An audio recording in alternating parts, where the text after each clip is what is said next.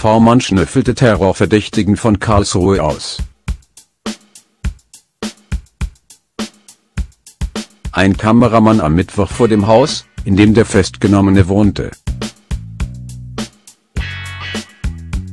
Karlsruhe Bei den Ermittlungen gegen einen terrorverdächtigen 29-Jährigen in Karlsruhe wurde nach einem Bericht des Nachrichtenmagazins Der Spiegel auch ein V-Mann eingesetzt.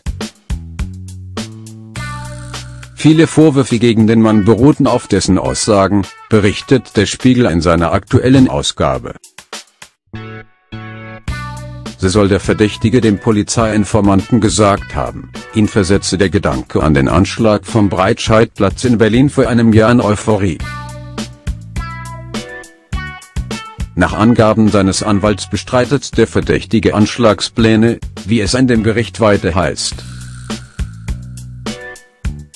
Spezialkräfte der Polizei hatten den in Freiburg geborenen 29-jährigen Deutschen mit irakischen Wurzeln am Mittwoch in Karlsruhe festgenommen.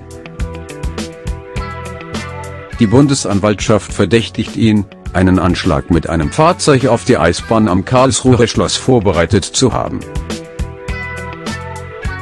Außerdem soll er die Terrormiliz Islamischer Staat, IS, unterstützt haben.